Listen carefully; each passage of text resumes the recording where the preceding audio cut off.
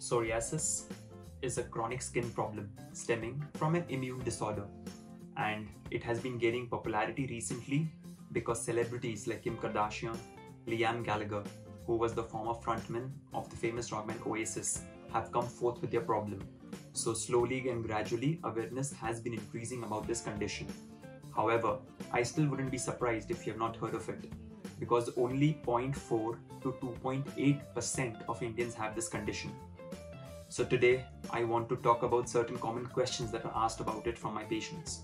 They ask me, what is psoriasis? Why does it happen? Can it spread to somebody else? Then how is it different from dandruff which is there on the scalp? And today I'm here to clarify those doubts for you and answer these questions. I'm Dr. Sujit Shanshanwal. I'm a consultant dermatologist and medical director at Skinama Clinic. And today I'll be talking about psoriasis. So let's start with what is psoriasis?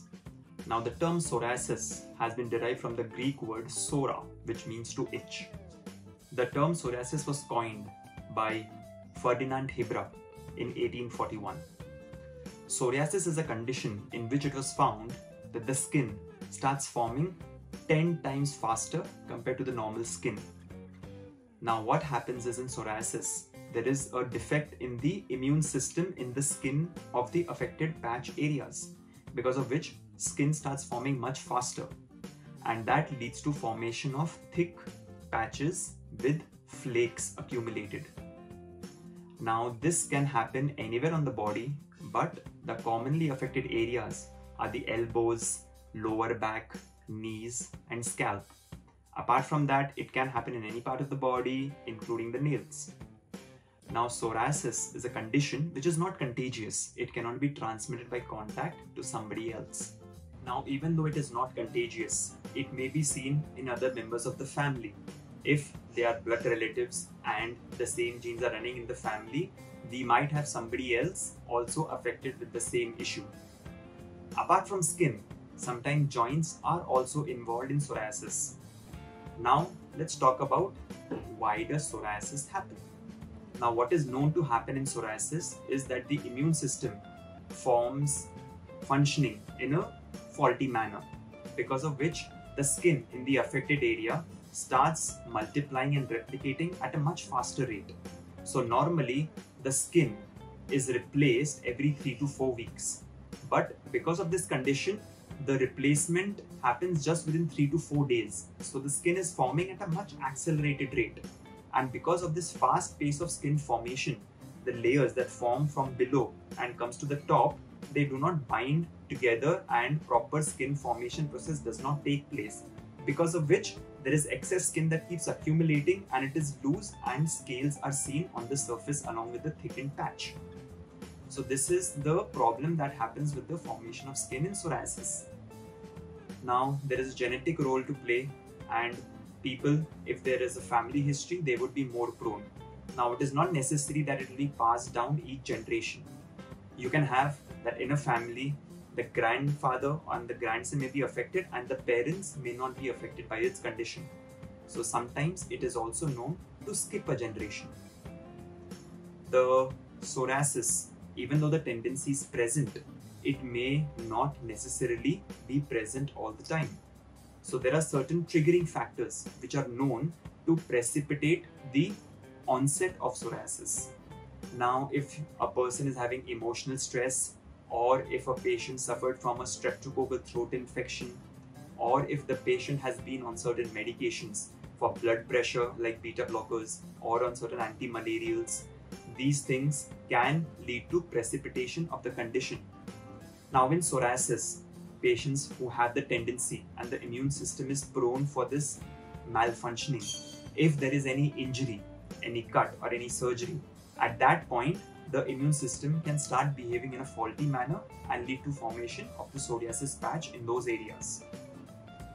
Now let's talk about what are the symptoms of psoriasis, that how would it appear on the skin, psoriasis patches can appear red and thickened with whitish silvery scales on the surface.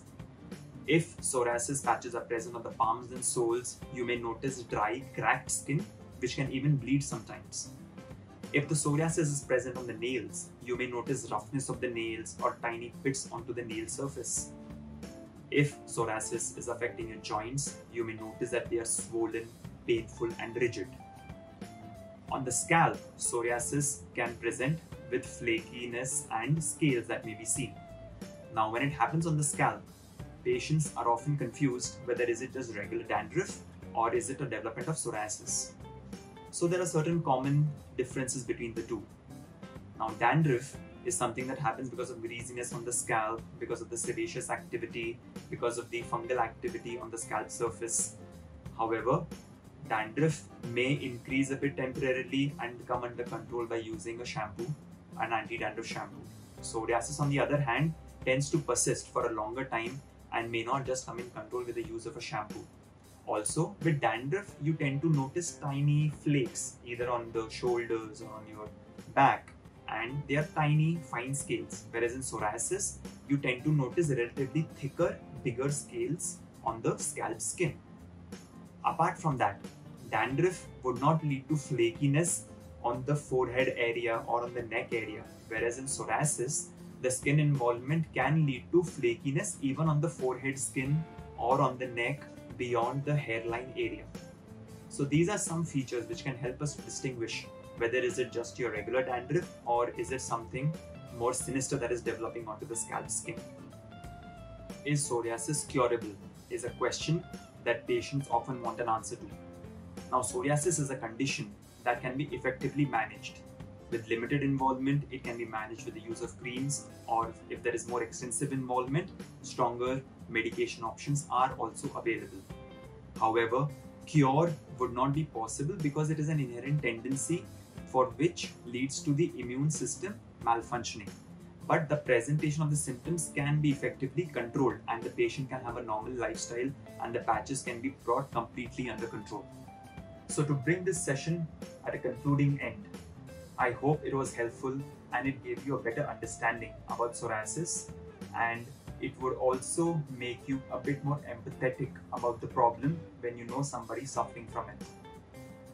If you have psoriasis or you know somebody who has psoriasis, it is important that you meet a dermatologist, get your diagnosis confirmed, and discuss about what are the best treatment options available and how, together, by coming up with a treatment plan, we can ensure that the patient can have a normal life without the activity of psoriasis being present in the body. But before you go, in the comment section, drop a message regarding how your understanding of psoriasis was improved by this session. Also, if you have any questions, please feel free to post them down. And if there's any topic recommendations that you'd like to know more about, kindly note those down as well. And we will have our experts come back to you with the best information that we can. Don't forget to subscribe to our channel, Man Matters. Stay home, stay safe, take care.